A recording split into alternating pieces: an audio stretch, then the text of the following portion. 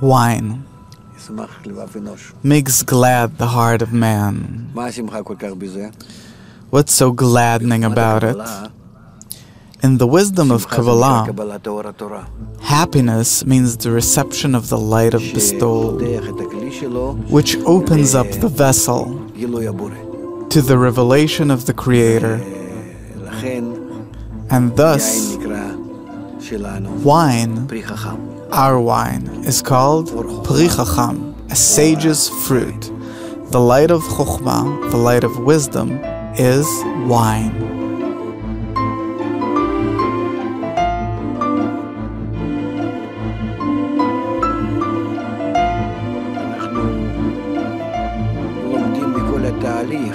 From the whole process of making wine, we learn how much a person has to care and work with it in order to reach a state where from a bunch of grapes you get wine.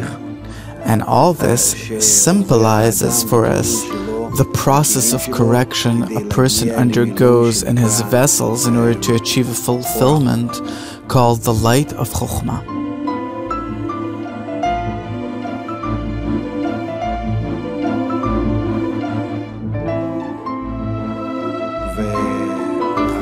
And along with this degree being extremely exalted, it is also very hard to achieve, since on this degree one can go astray.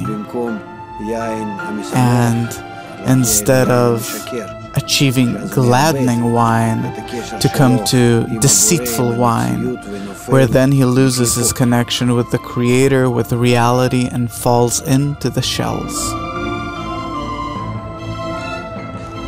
And thus, when we drink wine, we say L'chaim, because it's called real life where on the one hand I receive and I'm fulfilled by the light, but my intention is that by receiving I bring the Creator contentment, the same as He gives me, and then we reach a mutual feeling, mutual life, and that's really called life.